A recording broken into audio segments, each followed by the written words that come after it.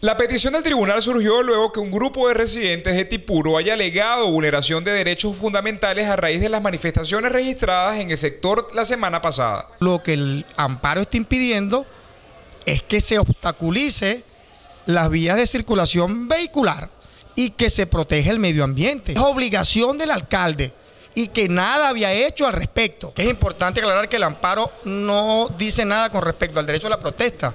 Aquí todo el mundo tiene derecho a protestar y tiene derecho a, marchar. El secretario de Gobierno Uribe Guevara explicó que de no poder mantener el orden público, el alcalde debe informar de inmediato a Polimonagas. El mandatario cuestionó que la solicitud de amparo constitucional haya sido introducida en contra del ayuntamiento, pues alegó que es la gobernación la que tiene la competencia sobre los cuerpos de seguridad. Nosotros en la alcaldía estos días hemos sido presa de muchísimos ataques. Nos han utilizado a los tribunales para interponer medidas cautelares contra la alcaldía, contra mi persona. Yo les quiero decir que nosotros estamos aquí, no le tenemos miedo a nadie y vamos para adelante. El burgomaestre cree que esta acción responde a alguna línea política para desmoralizar la lucha de la oposición. Resaltó que los denunciantes son activistas del PSUV y parte del equipo del exalcalde de Maturín, José Vicente Maicavares. Desde el estado Monaga, sector Luis Caldera, Globovisión.